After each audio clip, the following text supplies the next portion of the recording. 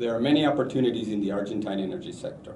In the case of electricity, there are expert reports indicating that investments for the 2016-2025 period will be of around 5 billion US dollars per year. Of that amount, 75% will be needed in the generation sector, while the 25 remaining will be in the distribution and transmission sectors. So it seems that generation will be the place where most investment opportunities will lie. The main challenges in the energy sector are political, technical, and economical.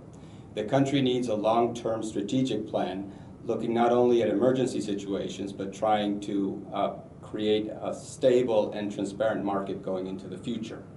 We need to move from a subsidized tariff regime to a regime where costs of transmission, generation, and distribution are considered to establish tariffs uh, in real terms.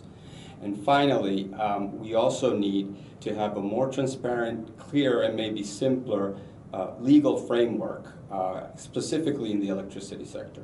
The country should go back to being an exporter of energy rather than an importer of energy, which in economic terms has implied an enormous amount of expenditure over the last years. The area that will probably have the greatest growth is the renewable energy area. By law, 8% of energy consumed in Argentina must come from renewable sources by the end of 2017 and 20% by the end of 2025.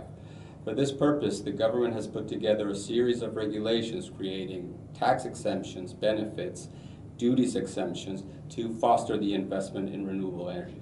For someone who already has presence in Argentina, investing in the electricity sector should not be that complicated. But the first recommendation would be to get acquainted with the regulations because they vary, they are complex, and some sectors of the electric industry correspond to public services and others do not, and that may have significant impact on the applicable regulations. For someone who has never invested in Argentina before, the first recommendation would be to get acquainted with doing business in Argentina.